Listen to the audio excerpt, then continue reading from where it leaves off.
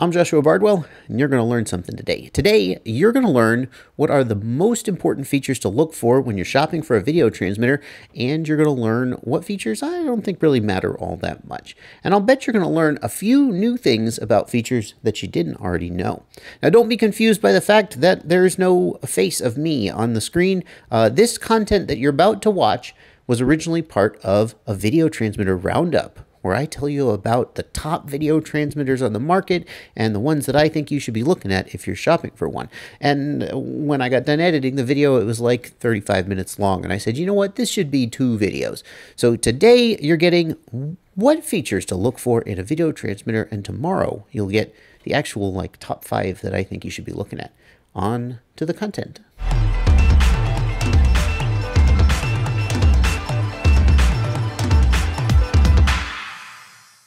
Let's just take a quick look at the criteria that I use to evaluate these video transmitters. And although you may not agree with the priority that I put on these on these criteria, these are the criteria that sort of define all of these video transmitters. And the very first criteria, the must-have criteria for me are number one, VTX remote control, which is the generic term that I'm coining to refer to, well, we all call it smart audio. But smart audio really is a TBS specific protocol. TBS invented smart audio. Smart audio is a protocol that lets the flight controller adjust the transmit power, the channel, and so forth of the video transmitter remotely. It's how you can use the Betaflight OSD or a Taranis Lua script to change those settings on your video transmitter. Smart audio is called smart audio because it very clever thing that TBS did. They input the data over the audio line instead of a microphone, or in some cases, eh, in addition to a microphone. The idea is that they've already got an audio line there, and if you, just like your old modem used to, you know, ding, ding, you send some audio signals, and they're really digital signals, and voila, you're sending digital data to the video transmitter.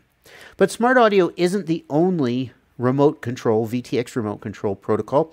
Uh, ImmersionRC has the Tramp telemetry protocol. Although it's called telemetry, it's really just a bidirectional serial protocol that's used to communicate and control the video transmitter. And it's essentially the same as smart audio.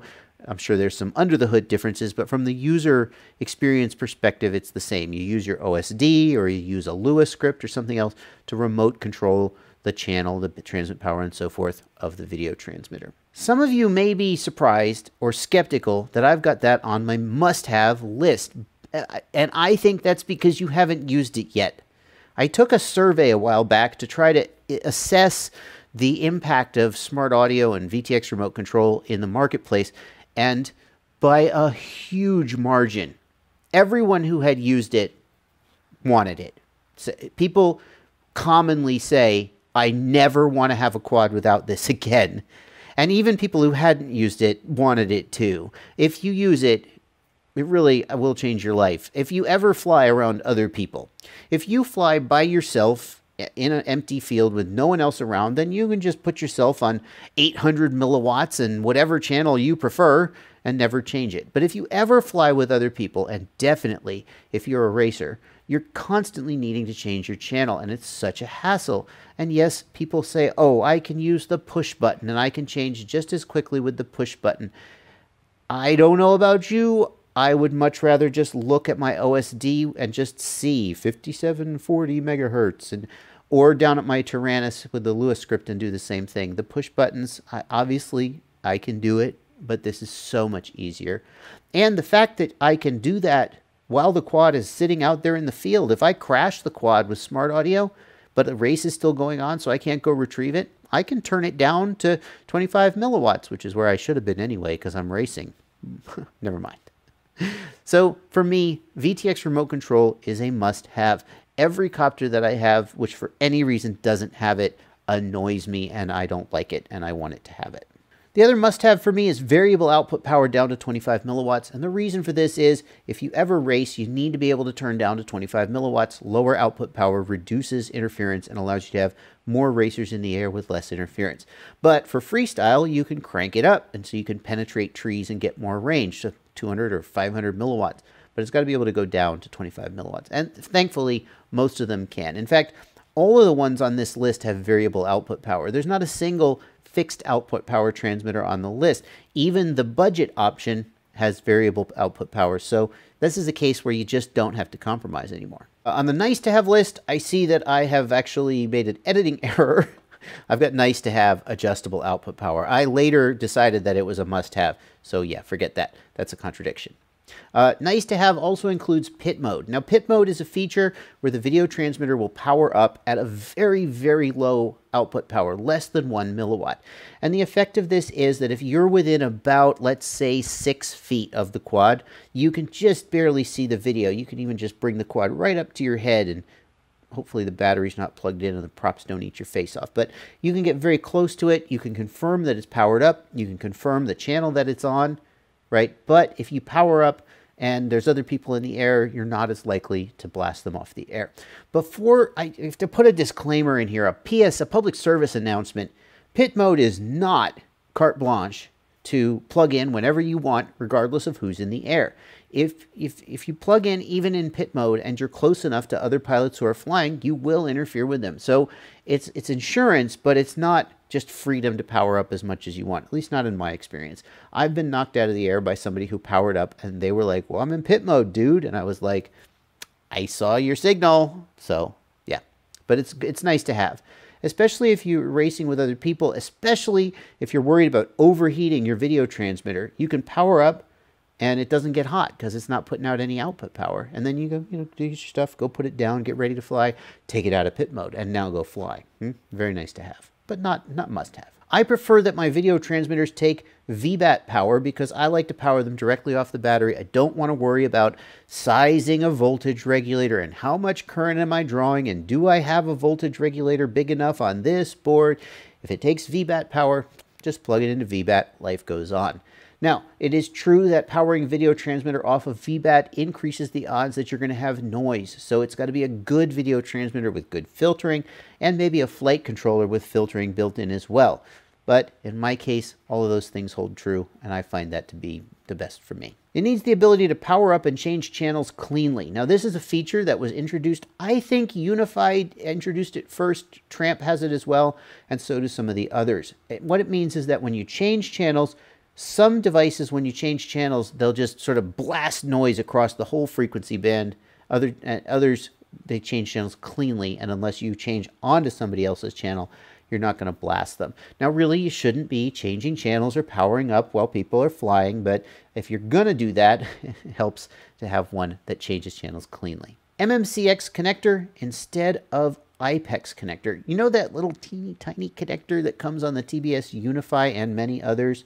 But uh, you see a lot of it with Unify because Unify is so popular. And it very commonly either breaks off in a crash or it stops holding. It just the thing gets loose and pops off all the time while you're flying. That thing is called an IPEX connector. It's also known as a UFL connector. I don't know what the difference between those is. But the other big thing about the IPEX connector is it's actually not rated for very many mating cycles. Click, click, click, click, right? It's not, it, it wears out very quickly. And that's actually just a design feature. It's not, you're not supposed to be plugging and unplugging it a million times. There's a better connector. It's called an MMCX connector. It's a little bit bigger. It's, it's sturdier, it holds better, and it's rated for more mating cycles. It's a great balance between the great big SMA connector that nobody wants on their video transmitter because it's so heavy and the teeny tiny IPEX connector that's so fragile.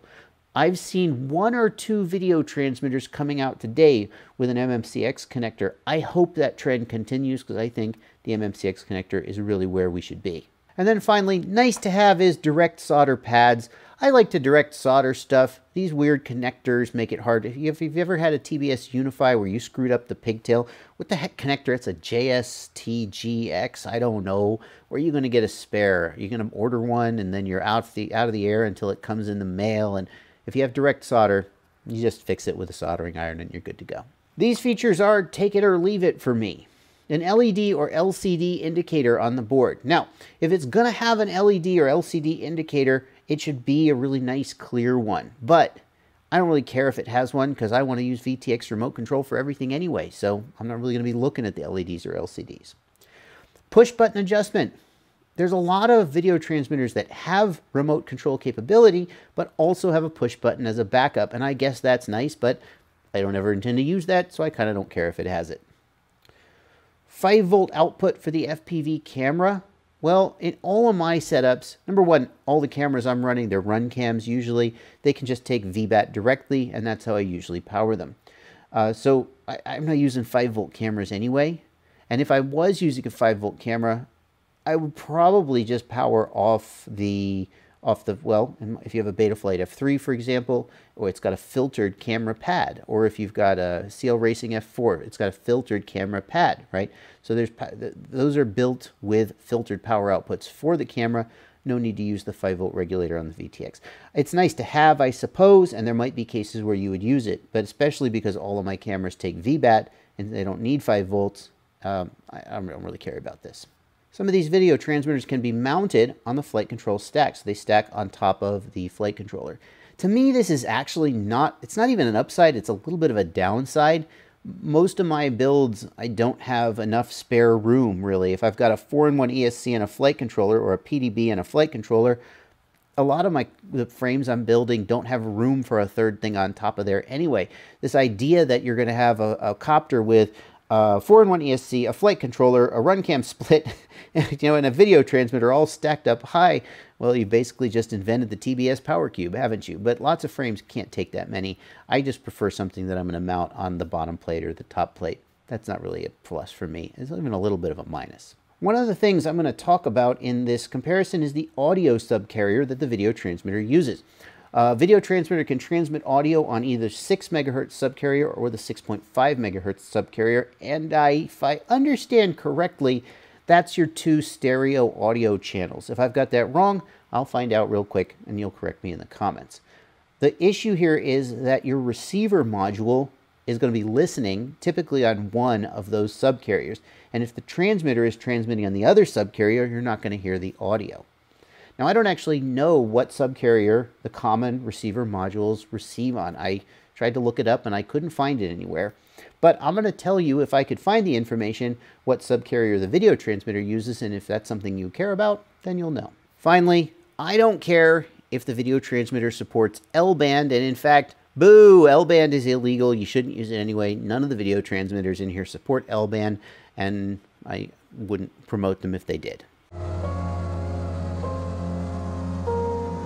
了。